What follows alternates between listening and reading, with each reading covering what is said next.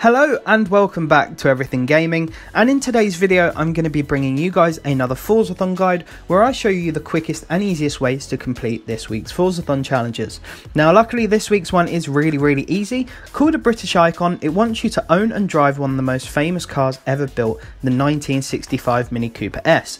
Now this kind of got me thinking as to what is the most famous Mini Cooper of all time. Uh, obviously you've got the Rally Monte Carlo Mini Cooper, you've got Mr Bean's Bright bright green mini, um, and you've also got the three red, white, and blue from the Italian job, the original one that is with Michael Caine. But I was kind of thinking, is there many more? I know there's probably definitely some, but I'm just having a bit of a blonde moment and can't think. But um, it'd be really interesting to if you guys put down in the comments what you think is probably the most famous Mini Cooper of all time. But anyway, Gonna get back on track here, so we're gonna get stuck into it. So first of all, you've got to go and pick the Mini Cooper from your garage. Now, I'm sure most of you already have it, but if you don't, it'll only cost you 30,000 credits from the auto show. I've also created a tune for you. It's called Forzathon Mini, and the share code is 931538485, and it's there if you need to use it. Now, the first challenge here just wants you to win two Dirt Race event, Series events, which is really, really easy. So, if you filter the map just to show that and go up to Glen Rannoch, you'll see the Glen Rannoch Trail. Now, here I have, as per usual, created a nice and very quick race for you guys to complete. It's called Forzathon Easy and there is a share code for it so that is 733545904 and it's one of those typical races that I create to help you get through the Forzathon challenges really quickly where the AI will go off up the mountain and you can just sail past them. So by the time you get to the finish line, they'll only be halfway done. And you can do it on whatever difficulty you want as well. It doesn't matter because it's only a Forzathon event. So all you have to do is win that race twice and there is the first challenge complete.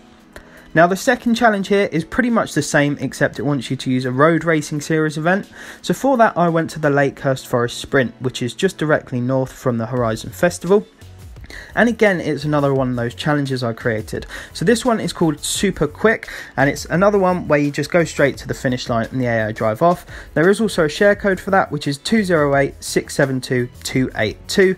And again, it really doesn't matter what difficulty you're doing it on, as long as you just sail past the AI like that and get to the finish line. And again, you don't need a tune, but it does always help make things go a bit quicker. So all you have to do is complete that race twice, and there is the third challenge complete. Now for the fourth and final challenge, it wants you to earn a total of 75,000 skill score in your 1965 Mini Cooper S. So this is a really really easy one, but what I would also recommend is buying out some of the car's perks. So if you go under the cars tab and then into car mastery, you'll of course see all the perks that the car has to offer.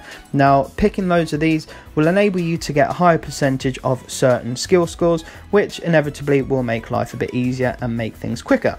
Now to complete challenges like this, I always go over to the Greendale Airstrip because there is loads and loads of skills you can earn over here, whether it's smashing into things or just drifting or speed skills, whatever the case may be. But this one is really, really easy.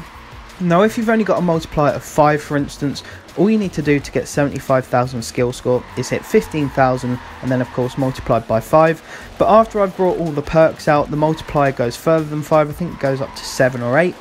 And that means obviously all I need is less than 15,000. So you can see I'm already at a 6.1 times multiplier with 11,000 skill score. So I really should have just stopped there, but I kept going for an extra few seconds. But this challenge will literally take you, as you've just seen here, about two minutes. You wait for the skill score to rack up at the end of it all, and as long as you've got over 75k, you'll be sound. But at the end of the day as well, it doesn't matter if you don't get it in one shot because you can do it over the course of a week or a weekend if you want. It really, really doesn't matter. So you don't have to do it anywhere specific, you don't have to buy out any of the perks, and you don't have to get 75k in one shot.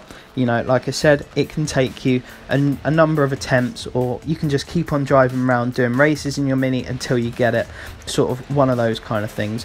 But it's really really easy. And as you saw there it can take you as little as just two minutes basically so this week's Forzathon is a really really nice and easy one and it shouldn't take you any more than 5 to 10 minutes which is always good because it means you can get on to the other challenges and start winning some of the other cars. Now I hope this video has helped you out. If it has and you're new to the channel, I would very much appreciate if you could subscribe and if it did help you out, don't forget to drop a like as well. But apart from that folks, I want to wish you all the best, make sure you stay safe and take care.